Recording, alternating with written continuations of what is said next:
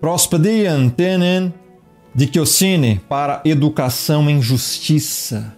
A palavra, ela vai te instruir em justiça, vai te mostrar o que é certo, o que é errado, segundo a palavra do Criador. Você necessita primeiro aplicar isso na sua vida para depois transmitir aos demais. Verso 17: E na artios e otuteu anthropos pros pan ergon agaton exertismenos para que qualificado seja o homem do Criador para toda boa obra equipado. Somente a palavra do Criador vai te capacitar, meu irmão. Somente com o estudo diário das Escrituras você vai ser apto e capaz de aplicar na sua vida e ensinar para alguém. Como é que você vai aplicar na sua vida algo que você não conhece? Não tem como. Então você nunca vai ser sábio, nunca vai ser instruído em justiça, nunca vai ser apto, capaz, nunca vai poder repreender ou corrigir alguém e nem se autocorrigir, porque você não tem conhecimento do que é necessário para se corrigir. A palavra, os princípios, os conceitos, os preceitos do Criador. E onde estão? Na palavra. Para você ter eficácia no seu ministério, você precisa se saturar da palavra, conhecer os conceitos, ler ela de Gênesis Apocalipse várias vezes, ter o conhecimento dos textos em seus contextos e os princípios escriturísticos na sua vida, no seu coração, na sua mente, para você saber. Do contrário, você vai pregar o que para as pessoas? A sua opinião? Não precisamos da tua opinião. Precisamos da palavra. De boa opinião, boa vontade, o inferno está cheio. Conhece essa frase? A boa vontade, ela não tem eficácia em nada. Usar e aiô. A arca estava sendo trazida ninguém podia tocar na arca. Uzá foi lá com toda boa vontade, tocou na arca. O que aconteceu? Morreu na hora.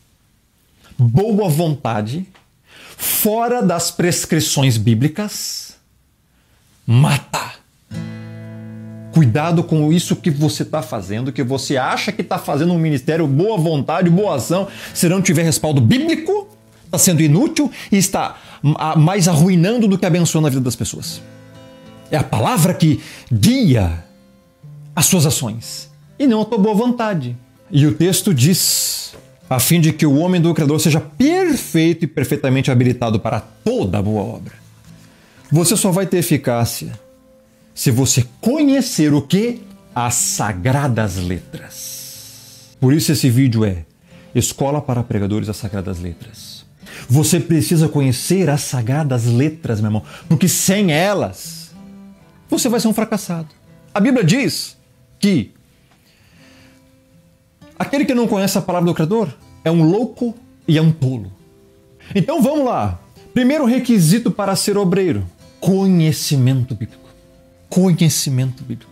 É triste ver as pessoas dizer que não precisa ler a Bíblia, pessoal. E ainda falam assim: Satanás sabe a Bíblia toda. Esse é o pseudo-argumento dos ignorantes, que não gostam de estudar e não têm conhecimento nenhum. Eu já ouvi isso. Nas minhas evangelizações, conversei com muitas pessoas e eu perguntava sempre para elas, porque pessoas que eu conhecia, que iam em algumas denominações, e eu perguntava: já leu a Bíblia toda? Primeira coisa que a maioria me falava era: mas Satanás leu, sabe a Bíblia toda. Esse é o pseudo-argumento dos ignorantes, que não têm fé na palavra, têm fé no que eles acham, no que eles inventaram no próprio ventre. Meu irmão, se você não tiver conhecimento bíblico, entregue teu ministério, não comece nada. O que, que você vai ensinar para as pessoas? Nada, porque você não tem o que ensinar, você não sabe nada. Tá, mas como assim, Romulo? Tem que saber? Óbvio. Acabamos de ler o texto aqui e que desde a tua infância conheces as Sagradas Escrituras que podem te fazer sábio para a salvação, mas a gente a fé no Messias. Como é que você tem fé no Messias? Como é que você começa a crer em alguém? Para você crer, você tem que conhecer. Como é que você vai crer em que você não conhece? Entenda uma coisa, por que, que tem que enfatizar tanto a palavra e a Bíblia? Porque é o início de tudo. Foi pela palavra do Criador que tudo se formou, tudo se iniciou, tudo se iniciou pela palavra. Começando desde Gênesis 1, primeiro capítulo da Bíblia. No princípio, criou o Criador, o Pai, o Altíssimo, os céus e a terra. A terra era sem forma vazia. Havia trevas sobre a face do abismo e o Espírito do Criador parava sobre a face das águas.